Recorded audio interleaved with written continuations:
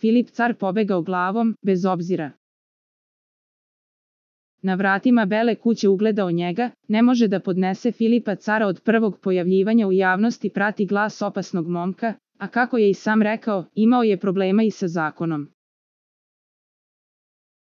U petoj sezoni zadruge je pokazao i da je veliki zavodnik, budući da se Maja Marinković i Dalila Dragojević bore za njegovu pažnju i naklonost, ali i ovaj momak ima strahove protiv kojih očigledno ništa ne može.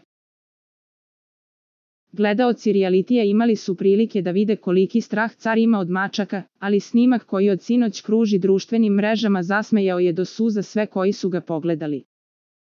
Naime, car je sedeo na kauču u dnevnoj sobi i ćaskao sa tarom Simov kada je ona ugledala miša koji je protrčao kroz kuhinju.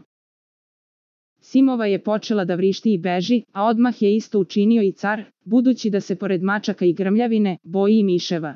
Za najnovije vesti iz realitija i estrade kliknite subscribe like i zvonce. Svaki dan najnovije vesti zato nas zapratite.